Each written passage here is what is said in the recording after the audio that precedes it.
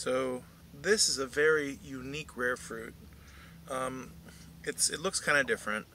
Um, this is something called a Palestine sweet lime. So there are such a thing as acidless limes, and then this is this isn't completely acidless. It still has some acidity, but it has a completely different flavor than any other type of citrus, and it can be eaten out of hand, but it's it's kind of hard to peel. Um, yeah, let me see. So.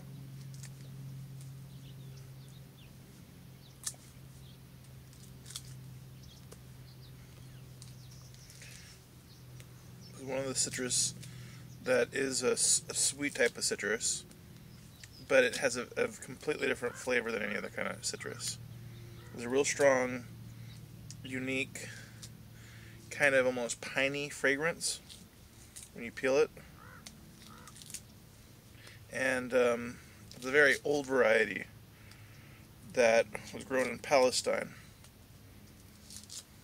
And I have people that sometimes ask for this, but this is the first year I've had any crop of it. I just have one tree in, in my collection. So, you open it, it's kind of a orangish yellow. Uh, one of the characteristics, it's got a the nipple on it. And then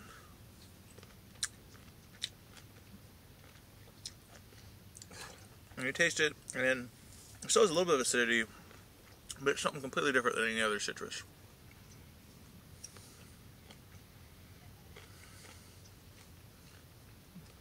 that is um, the Palestine sweet lime, another minor citrus um, species or variety, depending on who you ask.